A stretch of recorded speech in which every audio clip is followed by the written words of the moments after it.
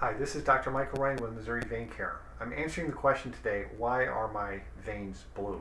The, the answer is simple. The veins are blue because as the blood flows through your circulation, your tissues take oxygen out of the blood and it changes the blood from being red to blue. And part of the, the, the question of whether, why the veins are blue is that in some areas of the body it's easier to see them than in others. For example, if you look at your uh, inner arms, your forearms uh, along the skin in this area here, commonly you can see veins uh, that are blue because your skin is so thin there and the veins are very close to the skin, so it's easy to see them. In your legs, veins become more prominent and visible and blue uh, the closer they get to the skin.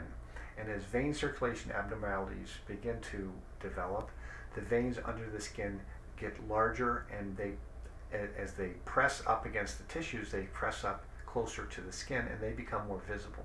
So that's a very common problem that we see. The good news about those blue veins in the legs is that they can be treated uh, easily with what's called sclerotherapy, which is injection treatments. We do that first by making sure people are comfortable with an, a numbing spray and then we treat them.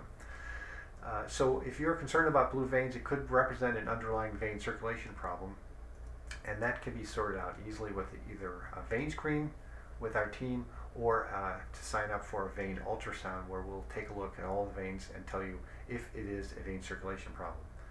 This is Dr. Michael Ryan with Missouri Vein Care.